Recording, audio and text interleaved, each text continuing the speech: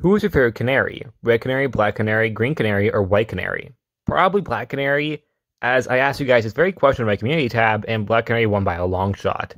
No real surprise, but what surprised me was who came in second place. Green Canary came in second, who is the son of Black Canary and Green Arrow, named Connor Queen Lance from the Injustice comics and games. However, he's only ever name dropped in the actual games.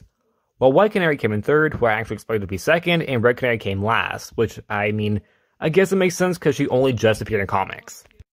I'm guessing the reason why Green Canary came in second is because he's the only male canary and the only child.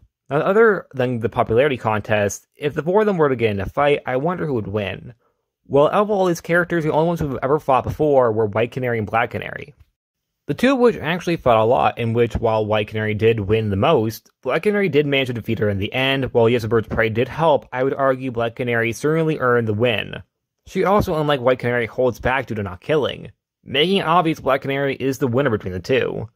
Meanwhile, Green Canary and Red Canary are both untrained, and the latter of which doesn't even have powers, making it to me that not only is Black Canary the most popular, but the one who would win in a fight.